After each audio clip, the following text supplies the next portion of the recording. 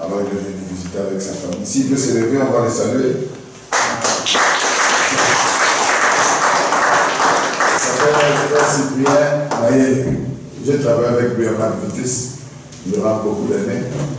C'est là que je lui ai apporté le message. Et il est parti amener le même message chez sa femme. Et sa femme a cru sans doute. C'est là que j'avais compris qu'elle est une sémence de Dieu. Amen. Elle est dans la sœur Justine, que le Seigneur te bénisse. Si tu peux te lever, on va te saluer.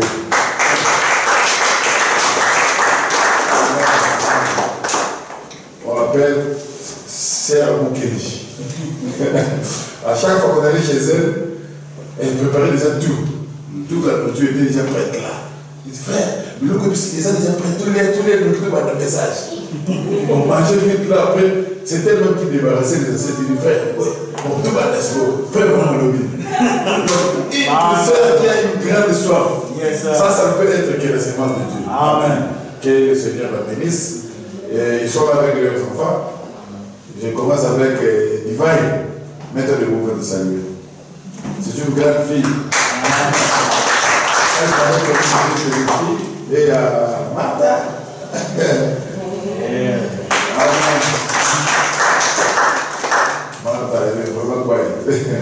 Et mon ami Israël qui grandit très vite. good, good.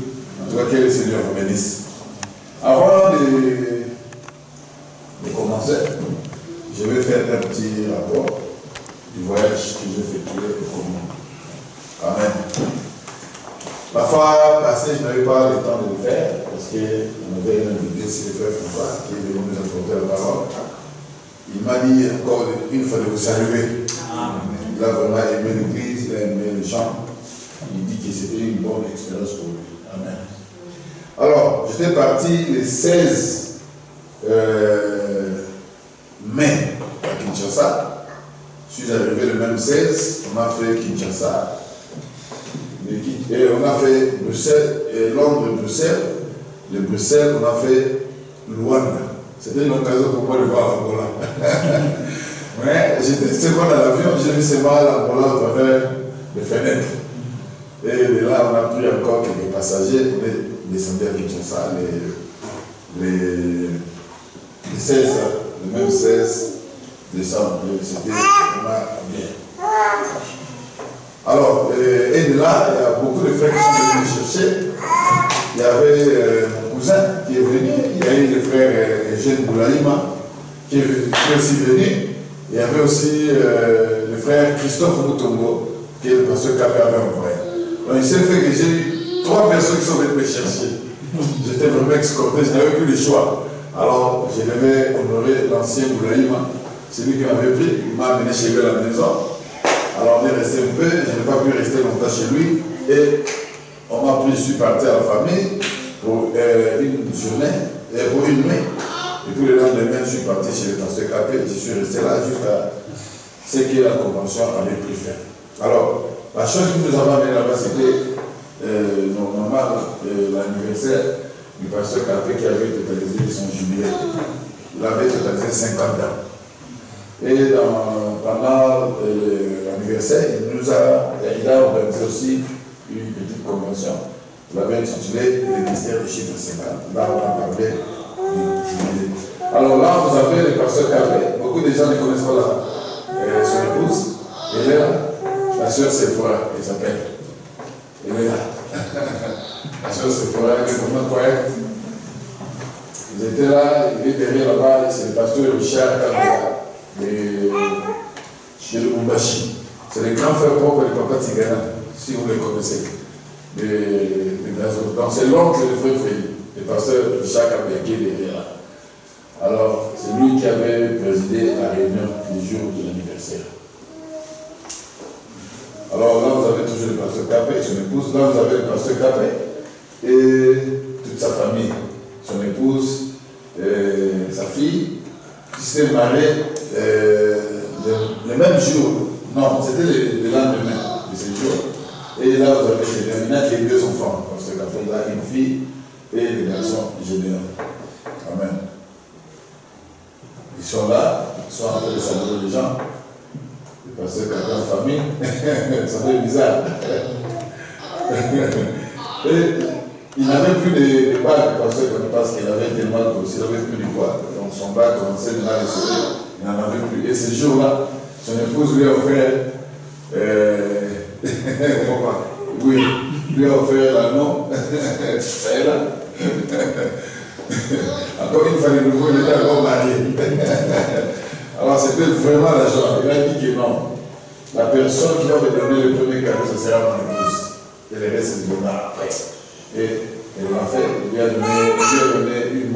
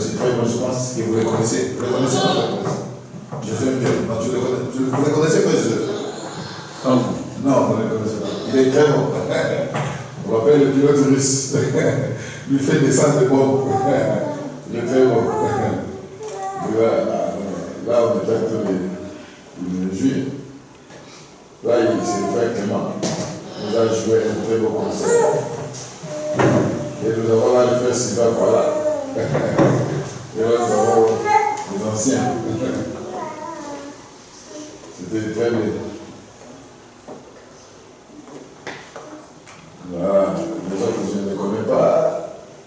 Mais il y avait beaucoup d'anciens là. Je vous montrer aussi. Euh, voilà, nous avons le, le pasteur Nathan Kwenge de Johannesburg. Et nous avons le pasteur José Ndiola, le pasteur de Chakabea. Et puis nous avons le pasteur Gilles ici. Là, c'est un frère de Kasumbalesa, Jour Tabernacle qui est, qui est devenu en fait.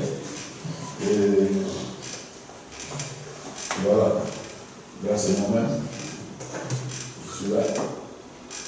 Voilà. Là, c'est le frère Richard. Vous le connaissez bien. bon, comme il va. Il doit le même nom. Ça, c'est le frère Louis Gobelet. On ne pas polémique. Sais, mais il vous va rappeler les, ses frères. Il était aussi là. C'est l'administrateur frère Capel. Un précieux frère. Là, c'est le pasteur Paul Boaz. Vous le connaissez, les soeurs Ah, voilà une ancienne. Tout le monde. Le pasteur Paul Boaz, il était, euh, avant encore, maintenant il est à Kinshasa. C'est vraiment un précieux frère. Il est très bon. Là, c'est le pasteur Clément. Et le pasteur Jim ici, moi. Et là, c'est moi. Voilà un peu quelques photos. Je ne vais pas prendre beaucoup de temps. Donc, c'était bien. Et euh, le dernier jour, c'était le 31 mai, j'ai pris l'avion. Le 30 mai, j'ai pris l'avion pour arriver ici le 31 mai. Voilà, je suis là. Que le Seigneur vous bénisse. Amen. Et nous avons aussi euh, les deux, comme vous le savez, le frère Joseph a perdu sa belle-sœur. Alors je pense que euh, aujourd'hui c'est le dernier jour de la. Euh, C'était prévu qu'on aille là-bas à 17h, n'est-ce pas frère Joseph? Voilà. C'est à 17h que tout va prendre fin. Euh, je ne sais pas si l'enterrement est déjà fait. Voilà. Aujourd'hui. Donc ils ont enterré aujourd'hui. Alors nous allons, nous allons partir là-bas à 17h. Soyez là tous pour euh, consoler euh, notre bien-aimé et sa chère Cette famille est en train de traverser des moments terribles. Bon, si Dieu vous fait passer euh, durant ces épreuves, frère, c'est parce qu'il a confiance en vous. Il sait que toi tu es un homme très fort. Voilà, en tout cas, on est ensemble, que le Seigneur nous soutienne vraiment. On sera là pour apporter quelque chose de la part du Seigneur. Amen. Alors, sans plus tarder, nous allons ouvrir nos Bibles. Nous allons ouvrir nos Bibles dans le livre de l'Exode, au chapitre 21.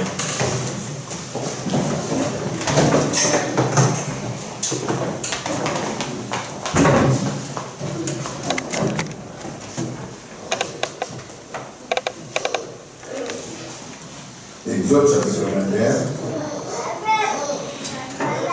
Nous allons prendre le verset 1 jusqu'au verset 6.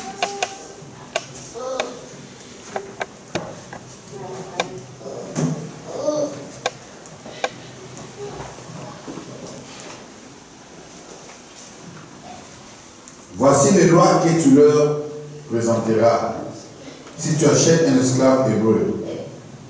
Et il six années six années, mais la septième, il sortira libre sans rien payer. S'il est entré seul, il sortira seul. S'il avait une femme, sa femme sortira avec lui. Si c'est son maître qui lui a donné une femme et qu'il en, ait eu, en ait eu fils ou de filles, la femme et ses enfants seront à son maître et il sortira seul. Si l'esclave dit, j'aime mon maître, ma femme et mes enfants, je ne vais pas sortir libre. Alors son maître les conduira devant Dieu et les fera approcher de la porte ou du poteau et son maître lui percera l'oreille avec un poinçon et l'esclave sera pour toujours à son maître. Prions le Seigneur. Béni sois-tu, ton Père céleste. Jésus-Christ, notre Dieu, le commencement et la fin de toutes choses. Toi qui as créé toutes choses par ta parole puissante. Et Seigneur, devant toi, la parole parlée, nous te glorifions, Père. Nous abandonnons, Seigneur, sur le moment de Saint-Père. Bénis, Seigneur, les enfants ici présents, Dieu. Laisse que, Père béni, chaque âme qui est présente ici, Seigneur, puisse être béni désormais. Ainsi, Seigneur, bénis aussi la lecture de ta parole. Nous te prions ainsi dans le nom précieux parfait de Jésus-Christ. Amen. Amen. Que le Seigneur bénisse pour toi. Merci beaucoup.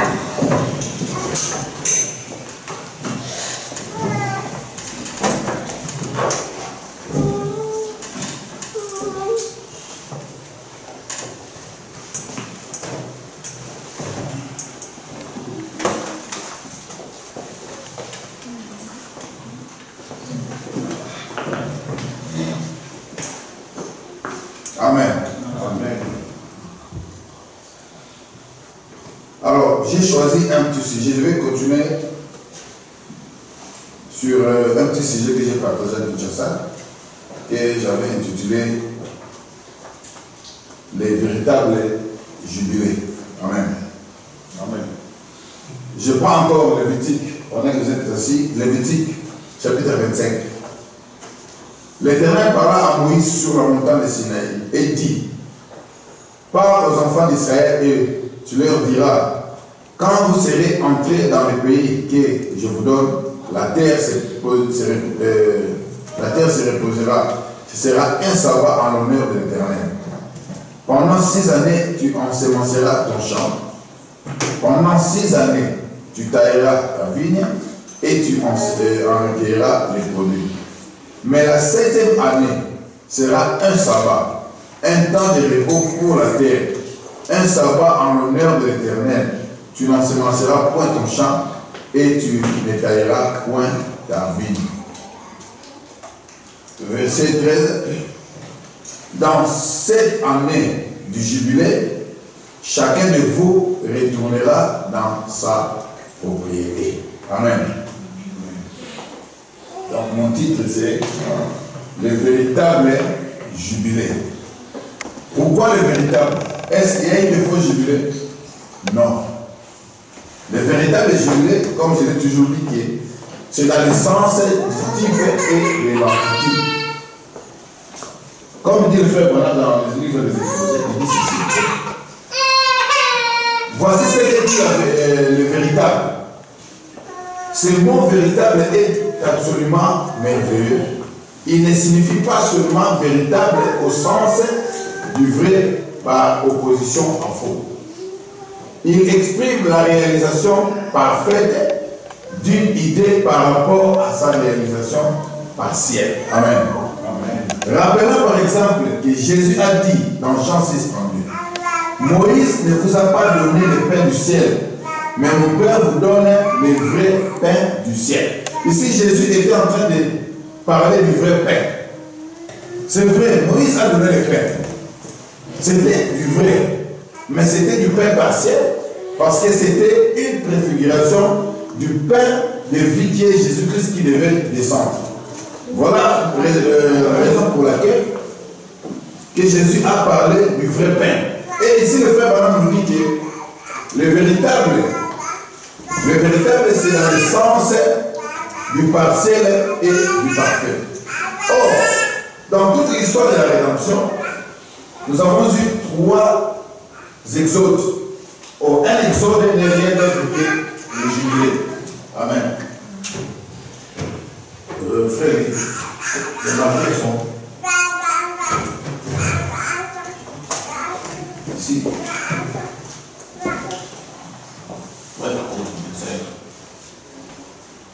Pardonnez-moi. Dans l'histoire de la rédemption, il y a eu trois exodes. Le premier exode,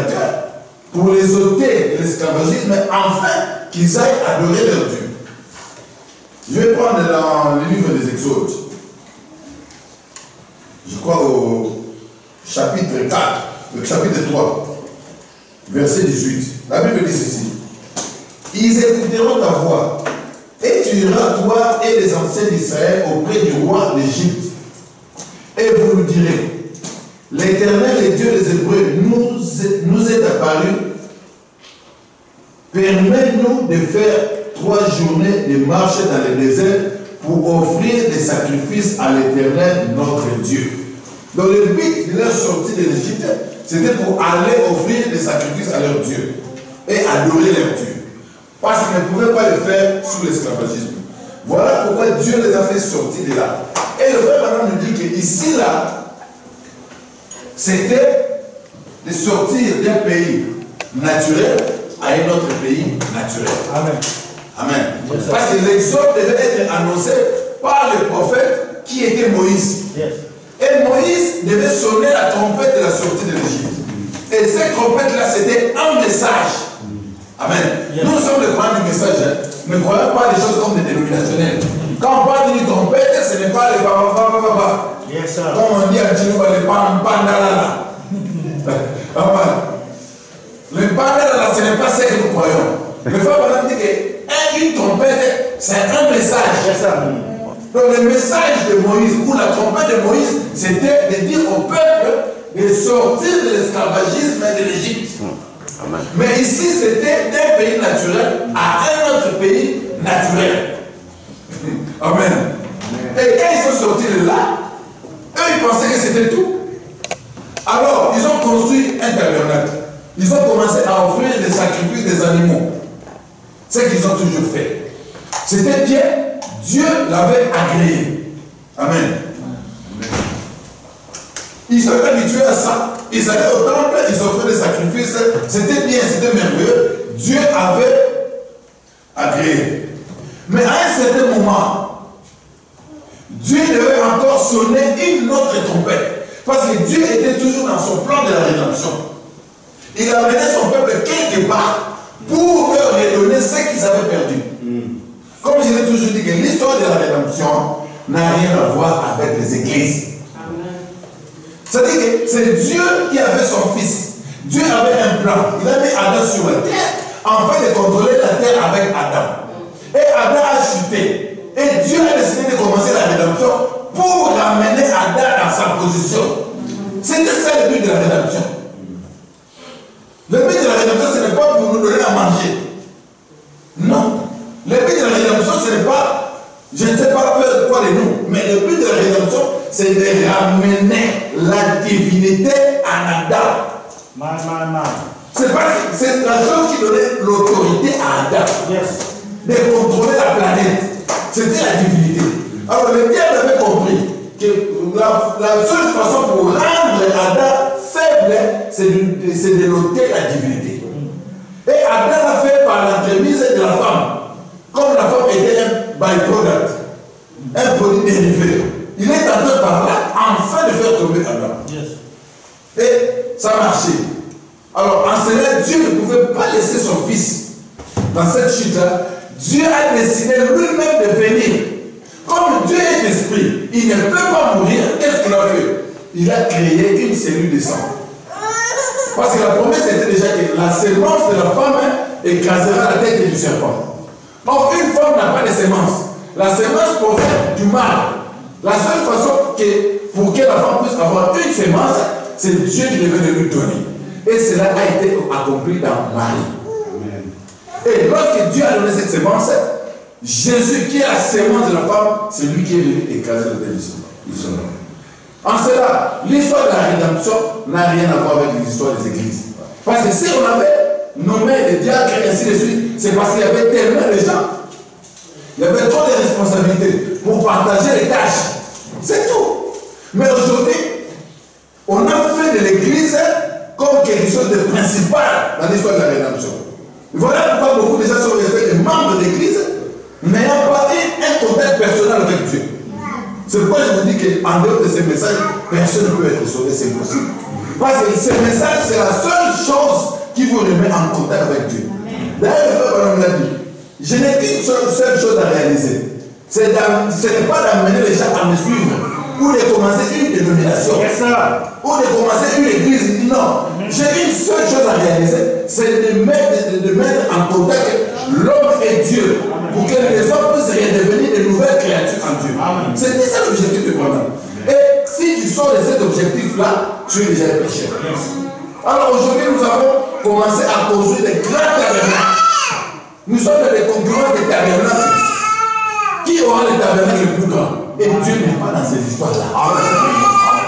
Parce que la femme a dit que Dieu n'est pas dans ce qui brille. Dieu, c'est quelqu'un de simple. Pendant qu'il y avait des cathédrales, pendant qu'il y avait la basilique Saint-Pierre à Rome, Dieu a choisi Kentucky. Dans une petite cabane, dans une brousse. Frère, à l'époque, Kentucky, là, où le frère né, c'était vraiment, je ne sais pas, c'était une brousse. Ce n'est pas parce que ça se trouve aux États-Unis. C'était une brousse comme si tu es quelque, quelque part là, ou pas comme au Tabeka là-bas. Ou là-bas encore vers Banan. C'était vraiment une brousse. Mais Dieu a choisi par la simplicité d'aller habiter là. Dans une maison où il n'y avait même pas de chaise. Une maison qui n'avait même pas de fenêtre. Mais le Dieu du ciel, le créateur de cieux et le Seigneur Jésus-Christ lui-même, qui est la colonne de feu. Amen. Parce qu'on doit, on doit bien éclaircir les choses. Quand on parle de Jésus, hein, on ne parle pas de Jésus de Galilée parce qu'il était une manifestation. Amen. Amen. Il était une manifestation. Amen. That's right. On parle de Jésus-Christ qui a habité en Jésus. Yes. Parce que dans tous les exodes, c'était toujours Jésus. Yes. C'est pourquoi on dit qu'il est le même hier, aujourd'hui et éternellement. Amen. Ici, dans Moïse, il y avait Jésus. Dans Jésus, il y avait Jésus. Dans Wembe, il y avait Jésus. Ça a toujours été Jésus. Mais qui se manifeste dans les kénos et les morts. Quand il change de forme, il est Moïse. Quand il change de forme, il est Jésus. Mais là, les, les, les Juifs, dans les premiers jours, ils étaient tellement habitués à Moïse. Et quand Jésus est venu, ils se sont dit, mais non, qui es-tu? Mais nous, nous connaissons Moïse. Pour eux, Dieu était Moïse parce que les Juifs savent que si vous voyez un prophète dans le pays, c'est Dieu. Yes. Amen. Yes. Un prophète dans le pays, c'est Dieu. Yes. Pour eux, Dieu était celui qui était en Moïse. Yes. Ils avaient cru en Moïse. Maintenant, les mêmes gens qui avaient cru en Moïse, parce qu'il y avait Corée et Data, qui ont essayé de visiter Moïse, ils ont été engloutis. Mais les autres là qui étaient restés, le même peuple qui sont partis dans la terre promise, quand ils sont arrivés là-bas, c'était le même peuple qui commençait maintenant à, s'attaquer à Jésus. Amen. Amen. Parce que les sons de la trompette là ne sonnent que pour les enfants de Dieu. Un petit nombre. Alors, quand nous sommes arrivés à Jésus ici, c'était maintenant, c'était plus quelque chose de naturel. Comme le frère Branham nous, dit, nous, nous a toujours montré. Ça, c'est l'homme. hein. Yes, sir. Ok Et dans l'homme aussi, il y a trois exodes. Yes. Amen. Amen. Parce que quand on vous parle de la dénomination, la dénomination c'est un nom. C'est un état d'esprit. Yes. Amen. Quand on dit de sortir des églises, ça dit c'est de sortir des concepts des églises. Tu ne peux pas croire le message de Branham et avoir toujours les mêmes définitions que les pentecôtistes. Man. Sinon, frère Branham viendra faire quoi? C'est ça. Amen. Amen. Je vous dis, on ne doit pas avoir les mêmes définitions, bien que nous lisons la même Bible. Ouais. Parce que quand nous lisons la Bible, Malachi chapitre 4, comment nous avons ce frère voilà. Dans la Bible des dénominations, ils ont dit Malachi chapitre 4. Mais dites-leur que c'est le frère voilà. C'est là que les choses vont commencer. Amen. Donc, dans l'homme, il y a aussi trois exodes. Il y a le premier exode qui est au niveau de la chair. Amen. Donc un pays naturel a un autre pays naturel. C'est le naturel. Et le deuxième exode de l'homme, c'est au niveau de l'esprit. Vous êtes avec moi? Amen. C'est au niveau de l'esprit. Le deuxième exode avec Jésus, c'était quoi? Du judaïsme au baptême du Saint-Esprit. Maintenant, Jésus était venu proclamer la liberté. Cette liberté-là, c'était de sortir des concepts judaïques. C'était ça la libération. C'était ça le message de Jésus. Mais il a été tellement mal compris. Alors que les deux disciples sur le chemin de Mahout, ils étaient tristes. Parce qu'ils savaient que Jésus était un libérateur. Mais dans leur pensée, ils pensaient que la libération de Jésus-Christ était toujours physique comme Moïse. Or, le son de la trompette de Jésus amenait un jubilé pour les faire sortir, n'est-ce pas, du judaïsme, pour les amener dans le baptême. Amen. Et il a été mal compris. Amen. Amen. Alors, quand ils étaient sur le chemin de Maouss, ils étaient en train de se lamenter. Alors, qui est venu avec lui C'est Jésus. Amen. C'est avec moi. Jésus est venu.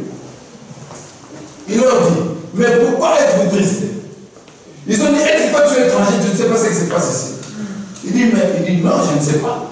Il dit, mais Jésus, c'est lui qui était censé être libérateur. C'est lui qui devait libérer le peuple. Mais voilà les trois jours depuis qu'il est parti, tout demeure ainsi. Pour eux, ils voyaient les Romains, ils voyaient euh, euh, comment ils étaient assujettis, ils se disaient que la mission n'était pas accomplie.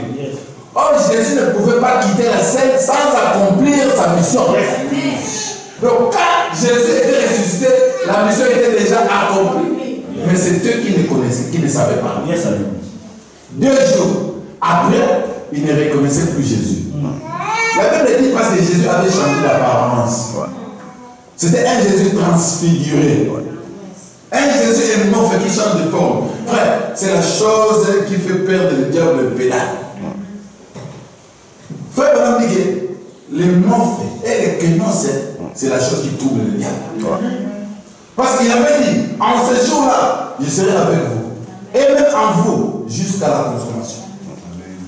Les mains de Dieu qui se garde dans son peuple. Voilà pourquoi, quand il était devant Nathanaël, comment est-ce qu'on l'a reconnu? Frère, on ne reconnaît pas Jésus-Christ par sa barbe. Yes. Amen. Ni par sa robe.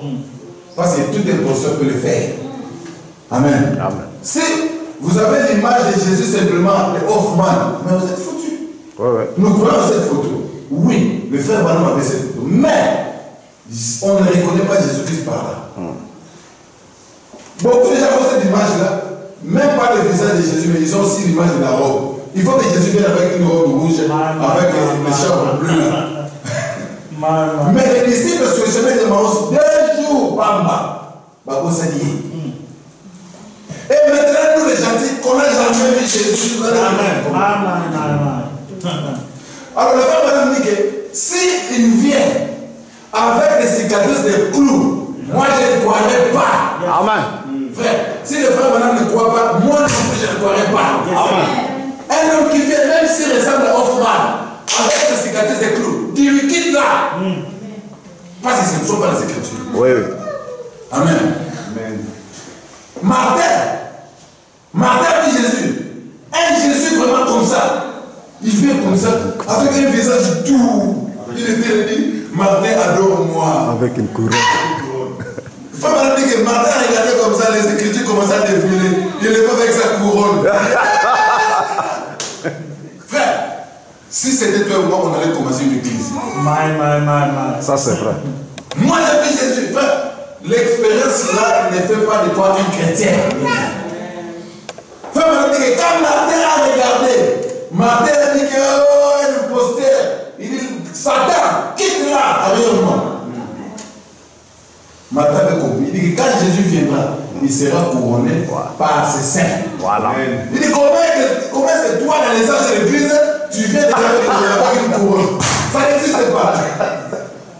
Alléluia. Il doit être comme Martin. Non, aujourd'hui nous avons un problème de successeur de Branham. Oh, Branham n'a pas de successeur. Amen. Frère Branham dit que c'est lui qui devait venir après moi, c'est Christ. Amen. Et ce Christ-là a été manifesté dans le corps même de Branham. Il dit on ne peut pas être ainsi deux. Il faut que moi je descende et que lui croisse. C'est ça que Jean-Baptiste avait dit. Exactement. Qu'est-ce que Jean-Baptiste avait dit? Il faut que moi je descende que lui croisse. C'était qui? C'était Jésus. Alors comment est-ce qu'on viendrait avec quelqu'un qui vient être, euh, pour être remplacé de frère Branham avec, lycée- avec la guérison euh, de la chair? Ça c'est le premier pour. Ça, c'est le premier poule.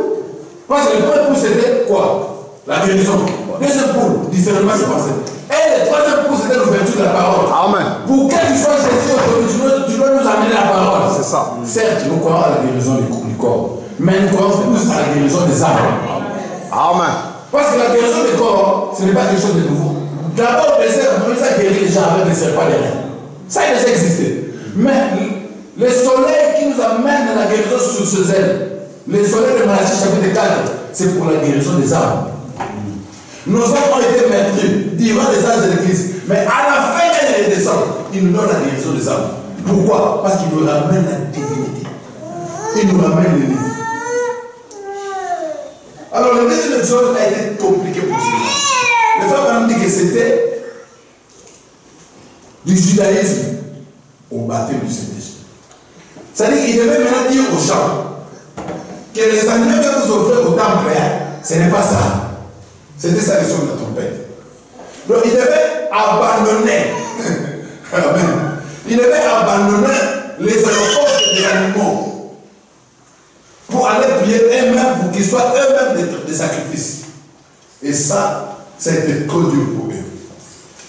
Alors qu'est-ce qu'ils ont fait? Ils ont crucifié le Seigneur de gloire.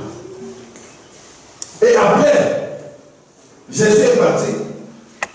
Sur le chemin de Maus, voilà maintenant le même Jésus, qui est la colonne de feu, va aller voir Paul. Et quand il va aller voir Paul, c'est pour commencer encore un autre exode, depuis les Fès jusqu'à les âges d'Église. Laissez-moi terminer avec ceci. Le premier exode, du naturel au naturel, c'est-à-dire la chair. Deuxième exode, au niveau de l'esprit, c'est-à-dire du judaïsme au baptême du Saint-Esprit. Et le troisième exode ici, là, c'est quoi? C'est du baptême du Saint-Esprit. Amen. C'est au niveau de l'âme. C'est du Saint-Esprit au pays éternel du frère. Et lorsque nous arrivons là au niveau de l'âme, vous savez que dans l'âme, on tombe pas malade. Dans l'âme, c'est la partie éternelle de l'homme. Quand on dit que nous sommes des éternels, ce n'est pas dans la chair, c'est dans l'âme.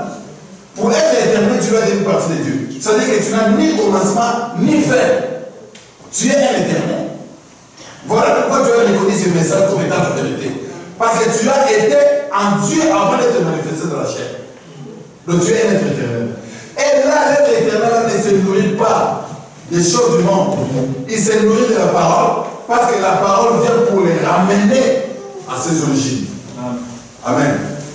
Le frère m'a dit ceci dans le message troisième exode. Ainsi dit le prophète. Que premier exode Il est fait sortir d'un pays naturel vers un pays naturel. Au deuxième exode, il est fait sortir d'une condition spirituelle vers un baptême spirituel du Saint-Esprit. Amen. Aujourd'hui, il les amène du baptême spirituel du Saint-Esprit directement dans le pays éternel du millénium. Vous êtes avec moi Amen. Donc, le troisième exode commence par le baptême du Saint-Esprit. C'est-à-dire qu'un chrétien, aujourd'hui, beaucoup de gens le message disent Oh, moi, je suis baptisé du Saint-Esprit. Non, ça, ce n'est que le commencement de l'exode. Amen. Parce que l'exode veut dire quoi? Sortir d'eux et entrer dans. Oh, si tu es baptisé du Saint-Esprit, c'est bien, mais tu ne fais que sortir. Mais il faut marcher. Amen. Le message du frère Banam, ce n'est pas le baptême du Saint-Esprit. Le message du frère Banam nous procure les repos du millénium. Amen. C'est-à-dire que nous, nous nous reposons de nos œuvres. Tout ce que les gens ont mis dans les œuvres de l'Église comme et credo doit avoir fin. Parce que même quand on parle de 666, hein, 666, hein, c'est l'homme. C'est ce que l'homme a amené dans la parole. Et si vous restez avec ce que l'homme, les compréhensions de l'homme de la parole, là vous avez la marque. Yes. Ce n'est pas pouvoir calculer les gens ici, ça n'existe pas. Yes, sir. Yes. My, my, my, my. Jésus comment te donner une très belle maison. Mais comme le numéro 666, tu fouilles la maison. J'ai demandé à ma belle-sœur, euh, à la femme de, ma- de mon oncle, je lui dis, ah, si on te donne une belle maison, brand et que le numéro c'est 666, il dit, Ah, là, vous soyez à côté. Frère, le chiffre 666, c'est un chiffre normal. C'est comme 663, 664, 666. Mais le problème, c'est que 666, c'est lorsque vous avez l'interprétation de l'homme. Beaucoup de gens qui sont dans les églises, là, ils, ils- ils sont déjà marqués. On peut, on ne peut pas écrire sur ton front 666, tu es déjà marqué. Parce que le frère Branham dit que la marque de la bête, c'est lorsque vous n'avez pas le Saint-Esprit. C'est le contraire du Saint-Esprit, c'est tout. Or, le Saint-Esprit c'est- a été ramené dans le message du frère Branham. C'est-à-dire que tout ce qui est dénomination, c'est 6, 6, 6. On a dit que celui qui a l'intelligence peut calculer la marque de la bête. C'est pas que tu regardes comme ça, c'est. Ah non, non. Aujourd'hui, le Femme dit que 666, c'est- c'est religieux. Le Femme nous a dit que c'était les papes. Parce que son nom c'est Vicarius Fili Dei, les remplaçants du Fils de Dieu. En chiffre, on a, calculé 666. Vous cherchez à quoi la bête Non, ça serait, euh, à l'époque, on a dit c'est Poutine, Georges Bush. Ce n'est pas un politicien, c'est un religieux. Yes. Alors, quand le pape a vu qu'on avait, qu'on avait découvert ce qu'il était, il a changé. Écrit Dux Claris. On a calculé 666. Amen. Mais il va échapper comment Dieu est parfait. Alors, un, message du frère Bani, du frère Bani. Mais ton nom aussi, dans une autre langue, on peut les calculer, ça peut le mettre 666. Frère Bani dit que oui. Mais le problème, c'est que moi, je suis passé sur cette sir. Même votre nom, on peut être allé dans une autre langue, ça peut 666. Cela ne veut pas dire que vous êtes un enfant du diable. Non Enfin, le message est venu nous ramener des définitions. Ça me fait pitié de voir les gens, les croyants du message, penser que la, le, la main de la bête, ça serait simplement tatoué ici. Non, frère. Même si on vous met une piste ici, même si vous êtes une sémence de Dieu, vous irez au ciel. Yes, sir. Amen. Parce que les ciels sont les semences. Yes. Cela ne dépend pas de celui qui fait ou de celui qui court. C'est Dieu qui fait grâce. Même si vous. Comment les gens commencent à fouiller, fouiller la marque de la bête par rapport à ce qu'ils voient dans les internets. Mais le diable est très astucieux.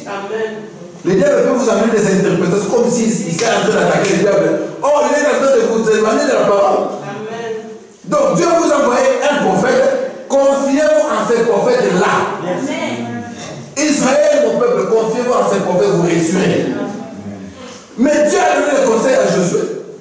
Dieu n'a dit à Josué, Josué, suis ce que mon serviteur Moïse a prescrit. Dieu n'a pas dit que Josué, suis-moi. Non. Suis ce que mon prophète Moïse t'a prescrit. Les lois et les ordonnances. En cela, tu réussiras. Aujourd'hui, peuple de Dieu, suivez ce que William Branham a prêché. En cela, vous réussirez. Parce que le frère Branham, c'est le seul absolu que nous avons dans la terre. Parce que je, je vois mal un homme sorti de l'Égypte sans la trompette de Moïse. Tu vas sortir de la Odyssée, comment peux pas connaître le message Amen. C'est impossible. Tu vas sortir, euh, tu vas entrer dans l'arche, comment si tu n'écoutes pas le message de Noé? Yes. Vous pensez qu'au temps de Noé, les gens ne priaient pas? Ils priaient. Il y avait des églises. Ils priaient très fort. Mais le problème, c'est que Dieu avait envoyé un homme avec une trompette. La trompette, c'était un message qui disait qu'il faut entrer dans l'arche. Yes. Celui qui n'entre pas dans frère, même si tu peux comment, même si tu vas faire quatre semaines à manger quelqu'un, prier, mais le message est que tu dois entrer dans l'arche. Amen. Si tu ne le fais pas, la pluie va commencer là-bas dans la prière que tu seras là, au quotidien de la maille. C'est ça. Tu ne crois pas le message de Branham. Même si tu pries comment, même si. Mais la Bible d'abord, tu vas la lire, tu vas la comprendre comment. Si Branham ne t'explique pas la Bible, tu vas la comprendre comment. Et tu ne n'écouteras pas les sons de ton père. Le. C'est la même colonne de feu. Par le même système point. Le même Dieu qui accomplit les mêmes choses. Vous êtes avec moi Amen. C'est-à-dire, quand vous voyez la colonne de feu, qu'est-ce qui a connu les enfants d'Israël? C'était la colonne de feu. Et qu'est-ce que nous avons eu aujourd'hui? La colonne de feu. Le frère Branham dit que c'était la même colonne de feu. Il dit que la colonne de feu était Dieu. Et le prophète était là. C'était la colonne de feu qui était de joindre le prophète pour amener les gens dans une chose. Et durant les âges de l'Église, on a eu la colonne de feu qui nous a menés où? Du baptême du Saint-Esprit. C'est-à-dire que depuis les apôtres, traversant les âges de Christ, jusqu'au pays éternel du dans les repos. Et nous voyons que la deuxième Bible, qui est la pyramide, la chose qui clôture la dispensation, c'est la descente de la Terre faite. Et quand nous arrivons à la Terre de fête, il n'y a plus rien. Yes. Si vous voulez ajouter quelque chose au-dessus de la paix de Dieu, c'est même monde. Là, vous, vous devenez des catholiques. Parce que les femmes maintenant nous ont montré. La Bible, la première Bible, c'était le zodiaque. Ça commence par une vierge, ça se clôture par un léo. C'est fini. C'est comme ça qu'on comprend le message. La deuxième Bible, c'était la pyramide. Ça se clôture par la descente de la pierre de fête. Et les femmes maintenant nous disent que la pierre de fête, c'était la descente de la nuée de gloire. Qui est venue pour coiffer la pyramide et la fin des dispensations. Amen. Amen. Maintenant, moi, je me demande, lorsque les gens mettent cette photo dans leurs églises, ils pensent quoi? Vous pensez que Dieu va permettre à la science de prendre des photos pour rien? Et comme nous avons amené maintenant dans l'église Ça, ce n'est pas pour rendre votre église belle. Non. Cette photo a une signification. Amen. Et cette photo a été vue dans mes yeux qu'elle est dit avant l'accomplissement. Et le peuple va nous dire que c'est Apocalypse chapitre 10, 1 à 7. Yes, sir. C'est le septième son. Alors, comment est-ce que quand le message dit que le septième son n'est pas révélé Qui va le révéler? Qui va révéler le septième son Oh Ma, ma, ma. On a dit déjà, c'est ce qu'on dit le tonnerre. Mais à la voix du septième ange, qui est le septième ange? Mais lui, il est parti, le septième son n'est pas encore révélé. Les tonnerres ne sont pas encore révélés. Mais vous croyez quel message? Frère, les, les tonnerres, c'est même ça le message de William Branham. Yes. J'ai été déçu une fois avec un frère. J'ai dit, frère, longtemps dans la frère, moi aussi je suis croyant du message. Il dit, ah frère, c'est quoi le message Je dis, oui. Parce que dans la dénomination là où j'étais venu, il ne croyait pas les tonnerres. J'ai dit, frère, moi je ne crois pas les tonnerres. Il dit, ah, mais il m'a un message. Si tu ne crois pas les tonnerres, ça veut dire que toi tu ne crois pas les messages. Parce que le message de Frère c'est les tonnerres. Ouais, ouais, c'est ça. Branham dit qu'un tonnerre, c'est la voix de Dieu. Manque de définition. Vous pensez qu'un tonnerre, c'est. Non. C'est la voix de Dieu. Quand Dieu parle, Frère Branham dit que les sauts, c'était le tonnerre. Chaque saut qui était ouvert, c'était un tonnerre qui montait. Et une fois, Jésus était, je crois, dans Jean 12. Je ne sais pas si c'est Jean 12 quoi. Jésus était là. Les tonnerres ont tombé. Les gens lui perdent. Jésus, Jésus a dit que Père, merci de m'avoir confirmé. Parce que c'était la voix de Dieu qui parlait. Et sur la montagne, c'était quoi? Quand Moïse montait sur la montagne, qu'est-ce qu'il écoutait Dieu parlait. Mais les enfants d'Israël, ils écoutaient le bruit. Ça dépend. Quand tu regardes, quand tu regardes, qu'est-ce que tu vois Yes. Et ils écoutent le bruit. Ils ont peur des tonnerres. Mais nous, nous savons que les, tonnerres, c'est ça le message de Frère Branham. Le, Frère Branham dit que, il ne dit pas simplement que les tonnerres ont été révélés. Il dit que les tonnerres ont été photographiés. Il dit look and life dans, dans la prédication de euh, Christ le lui est révélé. Il dit que look and life ont pris la photo de ces tonnerres. Mais comment est-ce que les tonnerres ne sont pas révélés alors, si vous ne comprenez pas la chose, enlevez seulement la photo. C'est simple que ça. Alors, le frère Branham dit que la même parole qui a proclamé les deuxièmes a proclamé les troisièmes. Et nous le voyons ici parmi nous. Sortez, sortez des chaos. Venez au Dieu vivant. Venez à la parole. Venez où Venez où À la parole.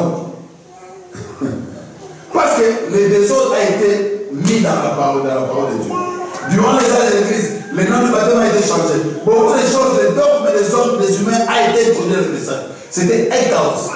Et Dieu avait décidé de faire sortir le peuple. C'était ça le troisième histoire. Il dit ceci. Et aujourd'hui, il est dans notre chair. Est-ce que vous, vous, vous voyez avec moi je vais prendre le point. Pardonnez-moi.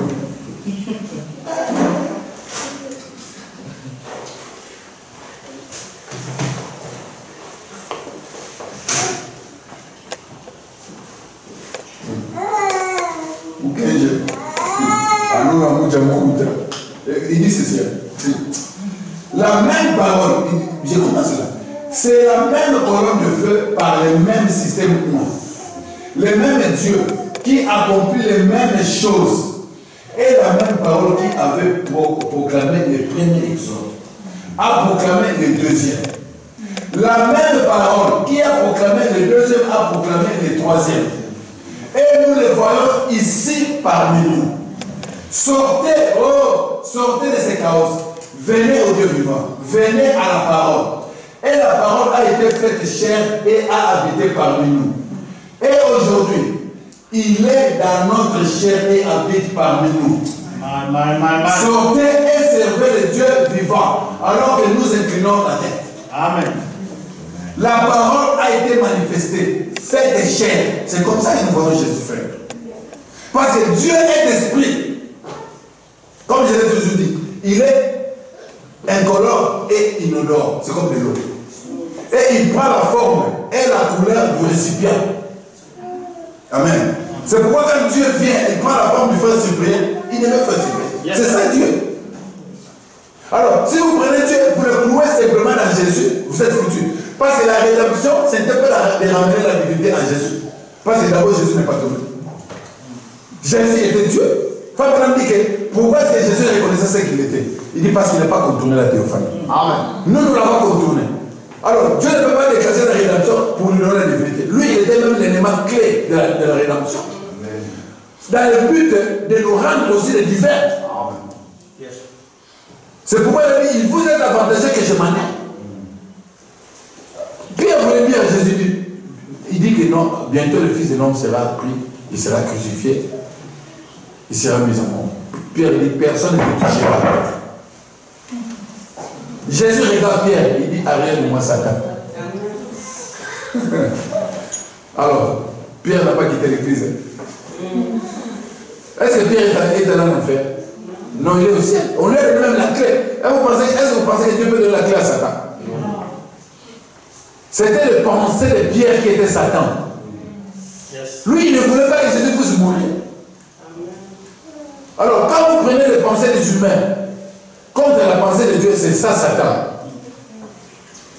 Pierre ne voulait pas que Jésus meure. Or, Jésus, dans le plan, il devait mourir afin de, de- de devenir plus ciel. Parce que sans la mort, Jésus que ne donnerait pas la divinité. Il contenait en lui-même la divinité. Il dit, vous êtes avantageux que je m'en aille. Lorsqu'il est parti, Frère Branham dit que le même Jésus, il est redevenu la colonne de feu. Il est redescendu dans la chambre haute. Dans les disciples. Quand vous voyez Pierre, c'est qui? Amen. Quand Pierre marchait, c'était qui? C'était Jésus. Amen. Parce que si la, la colonne de feu est en vous, vous êtes parce que Dieu, ce n'est pas la chair. Même la chair de Jésus hein, n'était pas Dieu. Frère Branham dit que Jésus était 100% homme hein, et 100% Dieu. Frère dit la chose qu'ils n'ont pas compris. Il pensait, il disait que comment est-ce que lui peut être Dieu et mourir? Même s'il est ressuscité, mais Dieu ne meurt pas. Frère il ne comprenait pas que la chair n'était pas Dieu. Mais l'esprit qui habitait en lui, c'était le Dieu tout-puissant. C'est ça le mystère de la divinité, frère. Alors, si vous prenez la divinité, vous le clouez en, en Jésus seulement, vous êtes foutu. Même Dieu ne sera pas d'accord. Parce que le but de Dieu, il voulait ramener la divinité en Adam et dans sa race. Et Adam attendait. Parce que si Adam n'était pas tombé, la rédemption n'aurait pas eu. La- le but de la rédemption, c'était qu'Adam puisse être ramené dans sa position. Adam attendait. Maintenant, quand vous prenez la divinité, vous le collez à Jésus, Adam continue à attendre. Amen. On ne sera pas la même. Il fallait qu'il meure.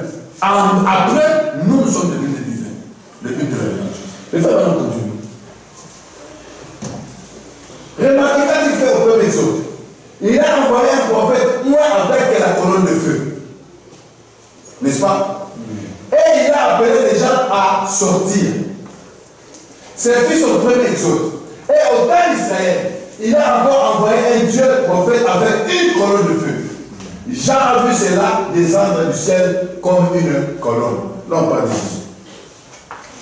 Il a alors dit, je vais à Dieu et je retournerai à Dieu. C'est-à-dire que, Frère Branham a expliqué ça dans une autre prédication. Il dit que j'étais la colonne de feu et je retourne dans la colonne de feu. C'était ça, frère. Quand Frère Branham est né, qu'est-ce- qui est descendu La colonne de feu. Qui est la colonne de feu? Mais c'est Jésus. Et Maintenant, quand on regarde la colonne de feu de ce, euh, de la tête de feu, par exemple, oh, ils ont mis la photo d'un homme euh, à l'église. Ça, c'est homme. Le frère Branham a dit que ça, c'est la photo de l'ange. My. Yes, Il dit ne, ne, faites- ne prenez pas attention pour moi, moi j'étais simplement là. Yes. Mais c'est lui-même, frère. Ça, ça, c'est un dessin. Yes. Yes, Dieu nous a fait grâce. My, my, Il s'est fait photographier. Yes, yes, yes. Et vous refusez de mettre sa photo dans l'église, frère. My, my. Si vous allez à Bonham Tabernacle, vous trouvez cette photo-là, ça est là. Et une fois encore, Dieu s'est photographié. Yes. Frère Madame dit que prenez la photo là. Il dit ils ont mal posé ça. Retournez en haut. Yes. Autour de la photo, vous allez faire voyez-vous ses yeux, voyez-vous son nez, voyez-vous sa barbe. Il dit c'est le Seigneur Jésus-Christ. Et si vous prenez la photo de Hoffman, vous l'ajustez là. Correct. Et ça, c'est une photo, dessin. Yes. Et le peuple nous dit que c'était la venue de sept anges. Il dit l'ange qui a attiré mon attention, c'était le septième ange. Il avait la cause complète. Et les sept anges, c'est qui? Ce sont les sept anges des anges de l'église. Et le septième ange, c'était la représentation de frère Manam. Amen. Et si cette représentation était là, vous aussi, votre représentation était là. Parce que c'est la descente de l'ange puissant qui est l'ange de l'alliance. Une alliance, c'est entre deux parties. Il venait avec une autre partie. Mais une autre partie était restée en vous. Quand ça vient comme ça, ça colle. Vous êtes racheté. Parce que le rachat n'a pas été accompli dans la croix. À la croix, c'était la première partie. Mais la deuxième partie devait être accomplie à la descente de l'agneau. Amen. C'est pourquoi toute l'humanité attendait cette venue, frère. Il fallait que l'agneau puisse descendre. Parce que ce qu'Adam avait perdu, frère Madame dit que c'était ça. C'est ça. Voilà. Et le frère Madame dit que le livre de la rédemption, c'est le livre scellé de sept sceaux. Amen.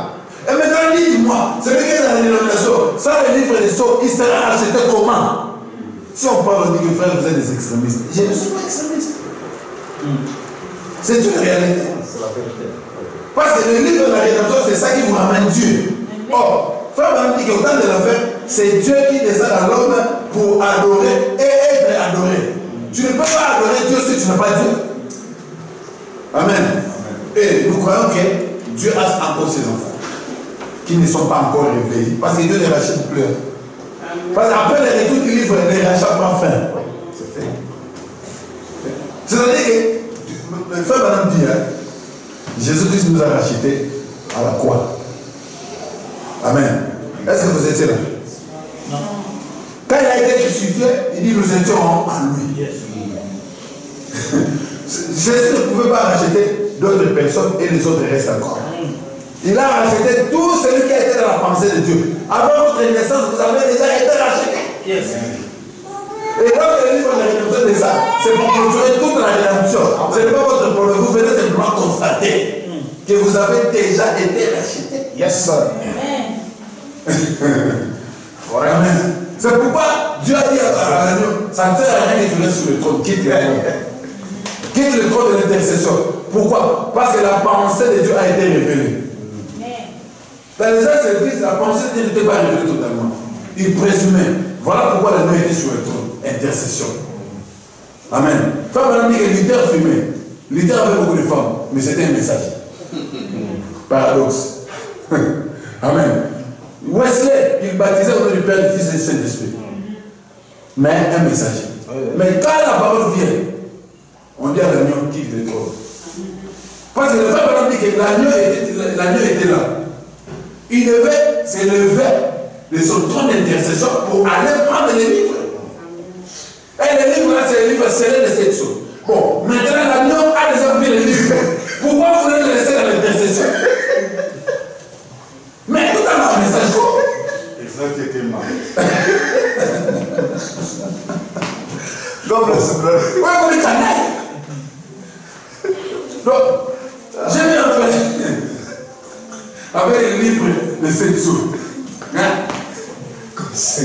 Avec le livre de sept sous. Il me dit que frère, le septième ce n'est pas encore révélé. Oh, moi il dit frère, dans la couverture, là, qu'est-ce qu'on a écrit Il prend le nom et me dit que la révélation de sept sceaux. Oh. Mais pourquoi tu dis que le septième n'est pas encore révélé Oh frère, c'est pas révélé. Mais tu as la révélation de sept sceaux. Il dit, mais le frère Balaam me dit que c'est c'est un silence. Oui. Est-ce que si on dit un silence, c'est-à-dire que ça n'a pas été révélé? Mais l'émission du silence, c'est vous-même, c'est le troisième point. Yes. Ruth n'a pas, euh, Naomi n'a pas dû arrêter de venir avec. Non. Naomi a persuadé Ruth. Et euh, comment l'autre là Ruth et Opa. Elle les a persuadés de retourner chez eux. Chez elles. Retournez chez vous. À, à continuer à adorer vos dieux. Ruth et Opa ont insisté que nous, nous allons te suivre. Naomi dit, hé, comme je suis là, je suis vieil. Je ne peux pas avoir des enfants. Ça veut dire que je ne peux plus vous donner des maris. Ça ne sert à rien, vous me suivez. Rentrez chez vous. Et Naomi a dit que si je suis dans le pauvre, c'est à cause de vous. Parce que mes enfants ont épousé les femmes des nations. Dieu nous a fait. Retournez chez vous. Or, pas. L'église dénominationnelle avait compris que Naomi avait raison. Parce qu'elle n'avait pas le mystère du troisième pôle. Et elle a commencé à pleurer même, avec des sanglots. Elle a baisé Naomi et elle est partie. Et Naomi tout le côté dit, hey, Ruth, toi tu parles pas pourquoi Ruth lui dit, ton Dieu sera mon Dieu. Ruth ne savait pas qu'il y avait Boaz. Ça, c'était le mystère du troisième pôle. C'était le mystère du septième saut, le silence. Personne ne avait dit qu'il y avait Boaz. Ruth a dit que je vais vendre tout ce que je suis pour prendre soin de cette vieille femme. Le bien-être universel, vivre pour les autres. Et quand elle est arrivée là-bas, elle a été récompensée. Or, Ruth représentait l'épouse. Et elle a été, euh, elle est devenue la femme de Boaz, qui est le parent rédempteur. Et c'est grâce à Ruth que Naomi a été rachetée. Vous comprenez? C'est grâce à l'épouse que les Juifs ont été rachetés. Maintenant, l'épouse de Jadis est rachetée, les Juifs ne sont pas encore. Mais qui va les racheter? C'est compliqué. On continue la lecture. Au dernier chose, il suscita un prophète Oua, qui était son fils, Dieu prophète. Moïse avait dit qu'il serait un prophète et il avait une colonne de feu et il a accompli les miracles et les prodiges. Et ce même prophète a dit Celui qui croit en moi fera aussi les œuvres que j'ai faites. Et ici, il a promis la même chose pour les autres derniers jours. Et il ne peut pas changer cela. Et par une preuve scientifique, par le témoignage du Saint-Esprit, par les œuvres, de euh, les œuvres de, l'Esprit, nous voyons cela aujourd'hui. La glorieuse colonne de feu s'émouvant parmi nous.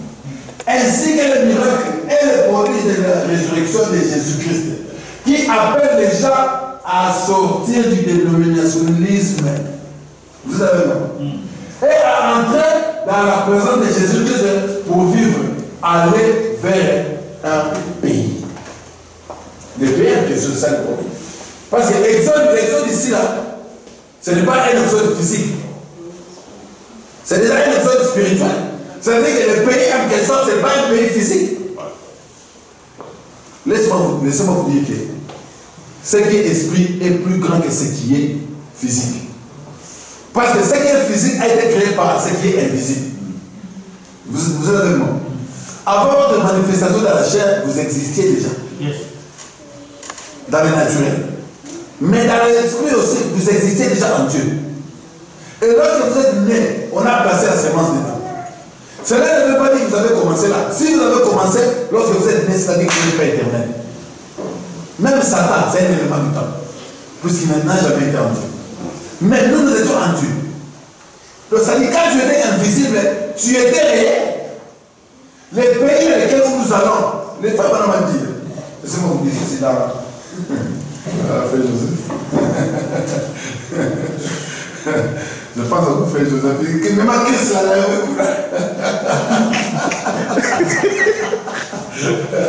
Non, c'est bien qu'on parle de parole. Le Fab m'a dit que Jésus a dit que je m'en vais vous préparer une place. Amen. Et je vais venir pour vous chercher. Le Fab explique dans la communion par la rédemption. Il dit quand il parlait de, de- de- de ça, il voulait dire un corps. C'était des théophanies. Ça, c'est c'est ça la profondeur du message. C'est-à-dire, ce n'est pas un endroit physique. C'est la théophanie. C'est-à-dire, quand vous sortez de là où vous êtes, vous entrez dans ce que Jésus est parti préparer. Il dit, quand je reviendrai, je revenais avec. Le troisième chose, ce n'est pas un pays physique. Comme à Kinshasa à l'époque, on a dit que non, frère, il y aura l'enlèvement bientôt. Les gens ont laissé, ont abandonné le travail. Ils ont tout laissé. Les autres ont commencé à faire des valises. Mais tu vas emmener les amis au ciel. Ils ont tout abandonné, demandé les anciens. Parce que eux, ils pensaient que c'était un voyage comme si vous quittez Milton Keynes pour aller à Paris. C'était l'exode, un exode. Parce que Dieu ne s'intéresse pas à la chair. Souvenez-vous-en. Dieu s'intéresse à l'âme, même pas l'esprit. L'âme. Parce que l'âme de l'homme, c'est une sémence. Une sémence est capable de produire un autre corps. C'est pourquoi la mort de la chair, c'est une bénédiction. C'est un bénédiction Amen. J'aime beaucoup bénédiction.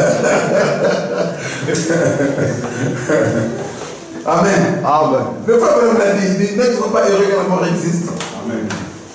Frère, on est bien quand on est jeune, hein, nous aimons vivre. Mais frère, quand tu es vieux, 95 ans, tu commences à marcher comme ça. Le corps devient un fardeau. Seul de quelqu'un, voilà le bien.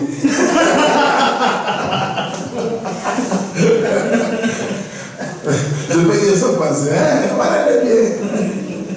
C'est là où vous comprenez que ce corps, c'est l'ennemi. Frère, le corps, c'est l'ennemi. Yes, sir. Le frère Branham dit que l'ennemi de frère Branham, c'est frère Branham. Yes.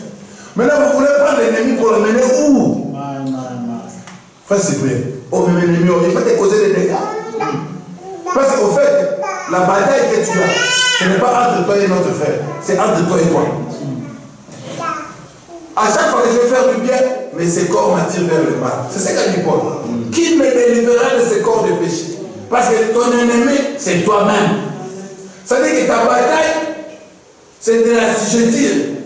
Vous comprenez? C'est pas la position de cet animal. Frère Madame dit d'ailleurs que ce corps est venu, c'est à l'image de l'animal. Parce que ce corps est venu mourir du sexe. Le corps de Jésus n'est pas venu par le sexe. Yes.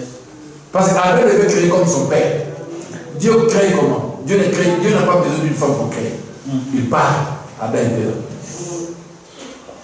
Pour créer Jésus, il a fait la même chose. Mais comme Jésus était là pour la rédemption, il devait naître par la femme. Parce qu'un homme qui est né d'une femme, sa vie est courte sans cesse agitée. Amen. Il devait être né virginalement, mais par l'entremise de la femme. Parce que la mission était qu'il devait mourir. Vous comprenez? Dieu crée par la parole parlée. C'est Satan qui crée par le sexe. Alors, si vous êtes créé par le sexe, nous sommes le produit de Satan. Le corps est le produit de Satan. Dieu n'a rien à voir avec le corps. Frère Branham dit la seule promesse pour le corps, c'est la guérison divine. Si tu es malade, prie. Mais le reste, zéro. La rédemption, c'est pour racheter les âmes. Et le troisième exode, c'est pour nous ôter. Les jubilés du troisième exode, la trompette qui sonne, c'est pour nous ôter du pentecôtisme. C'est quoi le pentecôtisme Les âmes malades ici. Les définitions pentecôtistes. Amen. Amen. Mes amis, il n'y a pas d'erreur. Ce n'est pas ce que je dis qui compte. Je ne suis que votre frère. Mais c'est ce que Dieu confirme devant vous. C'est ce qui fait de cela la vérité. Tous les, toutes les œuvres accomplies par Dieu dans le ministère de Frère Branham, c'était pour nous montrer que Dieu est ici. Amen. Amen. Dans Jean 3, la femme au puits, quand Jésus a parlé, Jésus a dit que tu as eu cinq maris. Même que celui que tu as maintenant, ce n'est pas aussi ton mari. Elle a dit, oh, venez voir cet homme qui m'a dit tout. Ne serait-il pas le Messie? Amen. Comment est-ce que la femme a reconnu Jésus? C'est par le discernement des pensées. Nathanaël, pareil. Comment est-ce qu'il a reconnu Jésus? Quand tu étais sous l'arbre, je t'avais vu. Oh Comment est-ce que tu me reconnais? Tu es le Messie d'Israël. C'est comme ça. Mais les autres, ils cherchaient par le visage. C'est pourquoi Jésus les a posé la question. Qui dites-vous que je suis Yokababa, tu es Moïse. tu es Élie. Ou bien l'un des prophètes. Non. qui dites-vous que je suis? Et Pierre nous dit que tu es le Christ. Frère, madame, le Christ, ça veut dire quoi? Il dit, en cela, Pierre, ce ne sont pas la chair et les sang. C'est mon Père qui est au ciel qui te l'a révélé. C'est une révélation, frère. Ne cherchez pas que, que vous puissiez voir un Jésus que les dénominations aussi verront. Non. Parce que les dénominations ne verront jamais Jésus, c'est impossible. Parce que Jésus est reconnu par les œuvres. Et ce sont ces œuvres-là qui nous ôtent du deuxième épisode. Comme vous le savez, les magazines Life a publié cela le mois dernier. Combien étaient ici et m'avaient entendu dire que cela arriverait avant que cela arrive? Je pense que c'est presque tout le monde dans l'église. Voilà. Les gens ne savent pas ce que ça signifie. Les hommes de science essaient que quiconque a une photo de cela. Téléphone. Écoutez. Un nuage de 26 miles de haut ayant la forme d'une pyramide. C'est quoi? C'est ça, non? Vous moi Sept anges y sont apparus et ont ramené, vous ont apporté la parole de Dieu sous l'inspiration et elle vous révèle ce temps que vous affrontez et dans lequel vous vivez. La pensée spirituelle saisira cela immédiatement. Amen. Voyez et les comprendra. C'est quoi? C'est un exode. Cette nouvelle, c'est un exode. Donc ça marque une autre époque. Ça vient pour clôturer quelque chose. Parce que la parole de feu finit avec le baptême du Saint-Esprit. Azus Esprit. Lorsqu'on est arrivé à Azus, d'ailleurs, vous savez que le mot Pentecôte veut dire 50. Le mot Pentecôte veut dire 50. Alors, déjà, quand il y a eu l'effusion du Saint-Esprit en 1906, 50 ans après, en 1956, pour fêter leur jubilé, ils vont appeler le frère Branham. C'est le frère Branham qui avait ouvert les réunions. Au cas où on parle du jubilé, c'est-à-dire que c'est une libération. On devait sortir du pentecôtisme. Parce que l'apogée du pentecôtisme, c'était l'effusion du Saint-Esprit. Ils avaient eu en 1906. Et 50 ans après, lorsqu'il y a eu jubilé, il veut maintenant sortir de la chose. Parce que c'est déjà prouvé. Amen.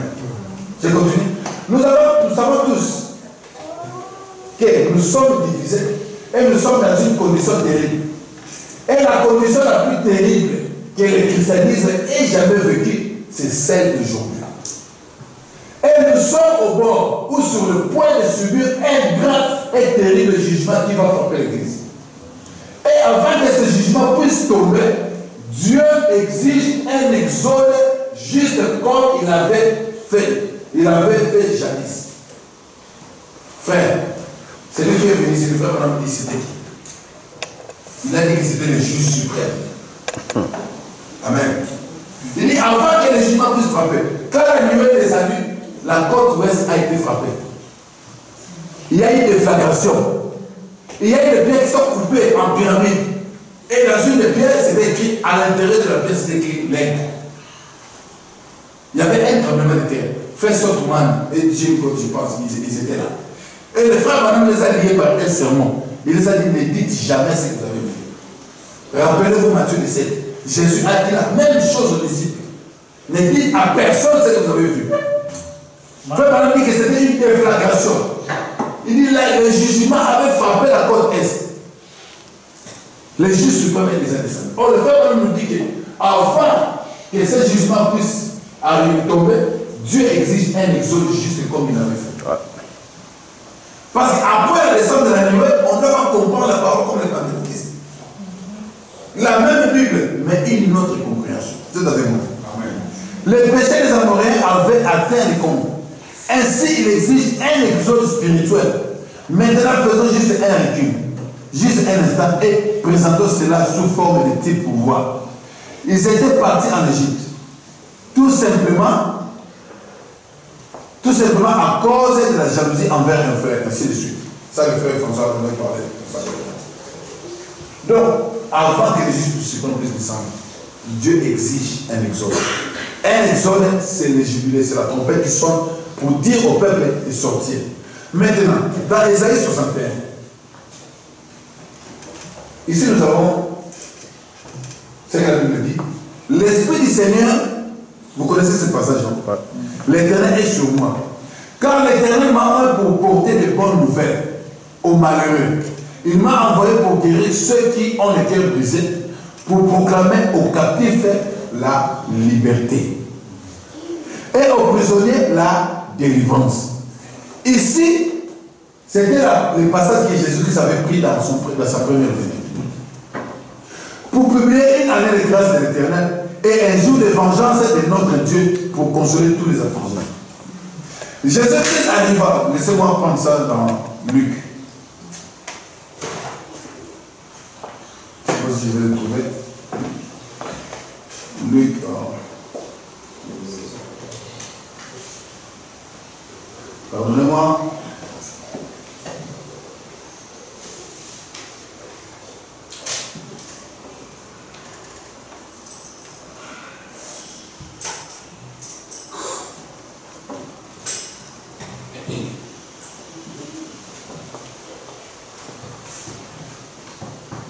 Voilà. Luc 4. La Bible dit ceci. Il s'est rendu à Nazareth où il avait été élevé. Et selon sa coutume, il entra dans la synagogue les jours du sabbat. Il se leva pour faire la lecture. Et on lui remit le livre du prophète Ésaïe. L'ayant déroulé, il trouva l'endroit où il était écrit. L'Esprit du Seigneur est sur moi, parce qu'il m'a envoyé pour annoncer une bonne nouvelle aux pauvres. Il m'a envoyé pour guérir ceux qui ont les cœurs brisés, pour proclamer aux captifs la délivrance et aux aveugles le recouvrement de la vue, pour envoyer libres les opprimés, pour publier une année de grâce du Seigneur. Ensuite, il ouvrait les livres, les remit aux serviteurs, et s'assit tous ceux, et s'assit. Tous ceux qui se trouvaient dans la synagogue avaient les regards fixés sur lui. Alors il commença à leur dire, aujourd'hui, cette parole de l'écriture que vous venez d'entendre est accomplie. Amen. Le frère Branham dit que Jésus s'est arrêté dans la première partie. Il est venu libérer les captifs. Il ne dit pas que cela aura lieu. Il dit que la parole est accomplie. C'est-à-dire que lui, il les a déjà libérés. Il les a libérés de qui? Des juifs, des romains. Par les juifs qui étaient là dans la synagogue. Il a pris les livres où? Dans une synagogue. Peut-être que c'était la synagogue de Caiaphas. Il prend, il commence à lire les Isaïe 61, on le regarde comme ça. Et il finit, il ferme le rouleau, il les remet au prêtre. Et il est parti s'asseoir. Maintenant, les gens commencent à le regarder. Comme quoi, qu'est-ce qu'il veut dire? Jésus, comme il lisait déjà les pensées, il leur dit que l'écriture que vous venez d'entendre là est accomplie. C'est-à-dire que Jésus, lui, il avait déjà libéré les opprimés. Il avait déjà libéré les captifs. Parce que la, parole était déjà accomplie. Cela lui a causé des problèmes. Parce que les juifs là étaient devenus déjà des maîtres des corvées. Ils prenaient déjà les gens à l'église comme des membres. Ils payaient leurs dîmes et les offrandes. Comme je l'ai toujours dit, les gens connaissaient bien que Jésus était le Messie. Preuve en est, le de sa résurrection, trois jours après sa résurrection, ils ont envoyé les militaires. On a donné l'argent militaire. Il dit ne dites à personne. Pourquoi ils ont, ils, ils ont corrompu les militaires Parce qu'ils avaient compris qu'ils avaient crucifié la parole. Mais comme l'église était déjà devenue un business, il devait continuer ainsi. Mais Jésus était là pour briser les églises. Et c'est ça la trompette. Quand Moïse était venu, les affaires d'Israël étaient bénéfiques pour Égypte, l'Égypte. C'était qui construisait le pays. Mais Moïse amène la trompette du jubilé pour dire que les peuples qui construisent là-bas doivent sortir. Ça n'a pas été facile pour Pharaon. Lui qui considérait les enfants d'Israël comme étant des travailleurs. Et aujourd'hui, dans le deuxième exode, déjà les, les Juifs avaient déjà les gains considérables dans leurs églises. Ils considéraient les membres de l'église comme les gens qui leur donnaient de l'argent pour vivre. Et Jésus amène un message pour libérer les captifs. Ça n'a pas été facile pour Jésus. Et dans le troisième exode, le frère Banam a fait la même chose. Amen. Amen. Il vient proclamer quelque chose qui venait briser les églises. Et ça n'a pas été facile pour lui. Vous connaissez l'histoire. Le frère Baruch a été abandonné. L'état présent de mon ministère. Tout le monde l'a quitté. Il a été critiqué. Pourquoi? Parce que son message était contre l'église. Le frère Baruch est venu- nous montrer que le pire ennemi de l'homme, c'est l'église. Frère, même pas le bar. Yes. Ce ne sont pas les boîtes de nuit, c'est l'église. Pourquoi? Parce que dans l'église, une personne qui est dans l'église, pour lui, il est déjà arrivé. Comme il membre de l'église, il pense qu'il est enfant de Dieu. Or, on peut être dans l'église, ne pas être enfant de Dieu.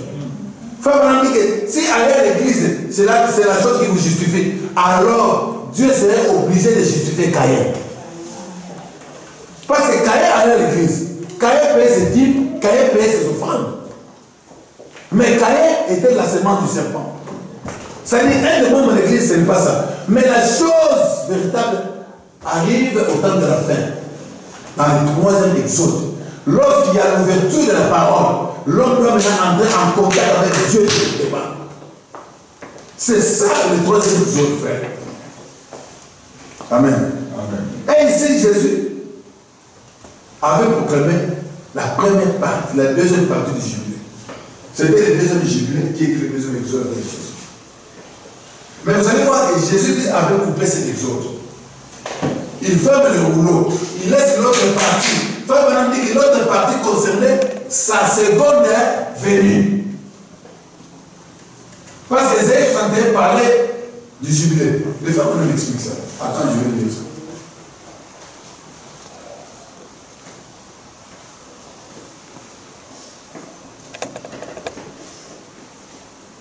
Alors, je saute. Les femmes vont me saisir. Aujourd'hui, c'est la culture de la Combe 44. Comme la culture est précise, est précise, si vous remarquez bien ici, c'est le passage d'Ésaïe 61, 1 à 2. Que notre Seigneur lisait Ésaïe 61, 1 à 2. Mais aujourd'hui, du verset 2 d'Ésaïe 61, il s'est arrêté. Le passage où il est dit L'Esprit du Seigneur est sur moi pour publier une année de grâce. Puis il s'est arrêté. Pourquoi? L'autre partie d'exercer. s'exercer- d'exercer le jugement ne s'appliquait pas à sa première venue, mais À sa à sa seconde venue. Bon, celui qui est descendu, c'est qui? C'est le juge suprême. Le juge suprême est venu pour exercer quoi? Les jugements. C'est-à-dire que si le juge suprême est descendu, c'est-à-dire que c'est la suite d'Ésaïe 61. 61. Voilà. C'est simple que ça. Parce que nous ne comprenons pas les, choses de comme les humains. Nous comprenons par rapport à ce que le frère Branham dit. Il dit, voyez-vous, ça ne s'appliquait pas là. Vraiment, les Écritures ne font jamais d'erreur. Elles sont toujours parfaites. Jésus s'est arrêté exactement là où l'Écriture s'arrêtait. Parce que c'était exactement ça qui devait être confirmé à son époque. Alors, pendant cette première venue, à la seconde venue, il exercera un jugement sur la terre, mais pas à cette époque-là. Je pense que c'est clair. Les juges suprêmes est descendu. Il continue. Remarquez, les messieurs étaient debout sur l'estrade pour s'identifier à la parole de la promesse pour cet âge-là. Comme c'est étrange, le Messie s'est tenu là, debout devant l'église, et considérait ces précieuses paroles. Quand il dit ici pour publier une année de grâce, il dit l'année de grâce, nous le savons tous, comme lecteur de la Bible, c'était quoi? L'année du jubilé.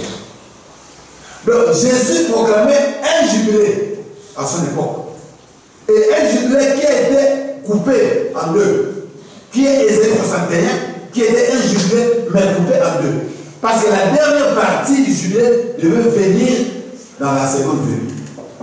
Amen.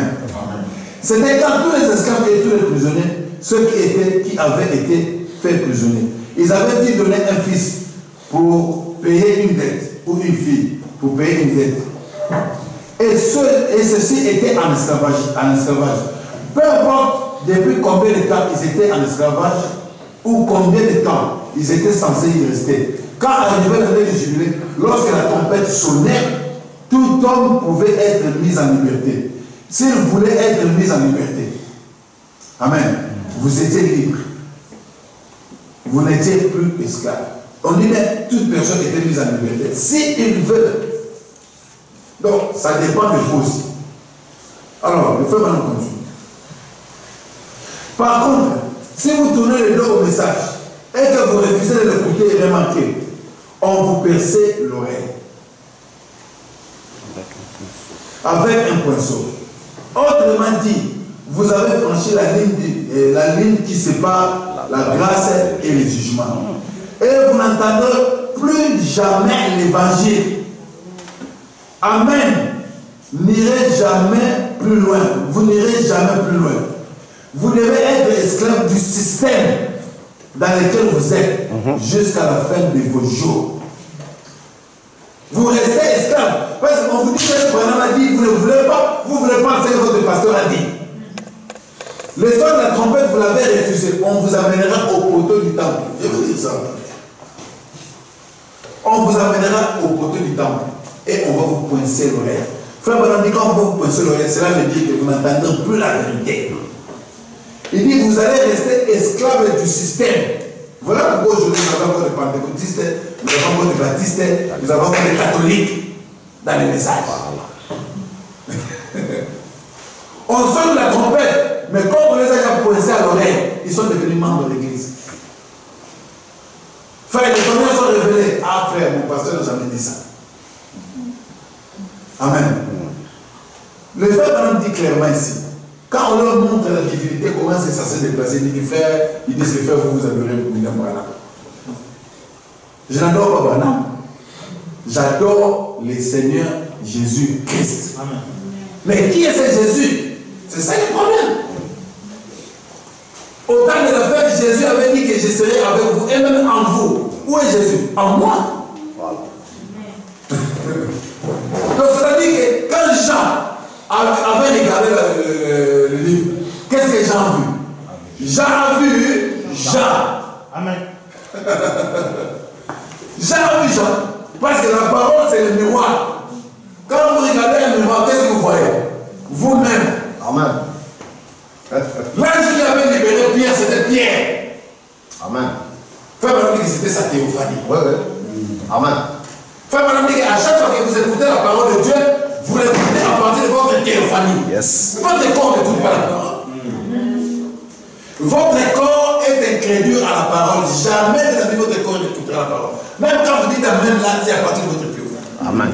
Si tu n'as pas de théophanie, tu n'écouteras pas. Donc, c'est-à-dire que le Dieu que tu adores, il est dans toi. Correct. Donc c'est un voyage interne. Tu voyages vers l'intérieur. Frère Madame dit que Dieu habite dans une maison à trois pièces. Corps, esprit et âme. Correct. Et quand il vient, il descend au niveau de l'âme. Dans l'âme, c'est de là qu'il vous parle. Le frère Madame dit lorsqu'il avait reçu le paix du roi, il dit que la voix venait du. Ouais, ouais. Ça ne venait pas de l'extérieur, du dedans. La petite voix qui vous parle, c'est ça Dieu. Si vous n'êtes pas conscience de Dieu, vous ne pouvez pas l'adorer. Alors, si on prend la divinité, on laisse en Jésus-Christ qu'on est foutu. Vous devez être vous-même cette divinité. Ça dit que toutes les familles au ciel et sur la terre s'appellent hein, Jésus. Jésus, c'est le nom de la famille. Quand nous avons été engendrés, quand nous avons reconnu notre position, nous avons compris que moi, mon nom, ce n'est pas Eric, c'est Jésus. Parce que c'est le nom de la famille. Chaque enfant vient au nom de son père. Voilà pourquoi il s'appelait Jésus, parce qu'il était l'empreinte de la personne de Dieu. Il était celui qui avait révélé le nom de Dieu. Parce qu'avant, on disait que qui es-tu? Je suis Jésus. Qui es-tu? L'éternel. Il ne donnait pas son nom. Mais après, quand il est venu, au travers de Jésus-Christ, Frère Branham dit que c'est là que le nom de Dieu a été révélé. Et ce nom-là, le même Dieu qui s'appelle le Seigneur Jésus-Christ, c'est lui qui nous a engendrés. Qui sommes-nous? Jésus. Voilà pourquoi quand a dit la vision. Parce que dans les livres de la rédemption, dans les sceaux, il y a vous et moi. C'est-à-dire que dans la descente de l'animé, il y a toi et moi. C'est la fortune de la famille. Quand les sceaux sont ouverts, chaque personne devait écouter son nom. Et le nom, c'est une nature. Ah, l'éternel patron va pas du chef Joseph. Laissez-moi lire quelques citations. Après, nous allons clôturer. Ah non, je m'arrête. hein. Parce que là, il faut que je commence le but du jubilé. C'est un peu. Bon, que le Seigneur vous bénisse. Amen. Nous allons continuer la fois prochaine. C'est trop bien, le jubilé, frère. La trompette du jubilé, c'est important. Amen. J'appelle le musicien, venez. Nous allons chanter jusqu'au bout, je vais te suivre. Et nous allons prier le Seigneur.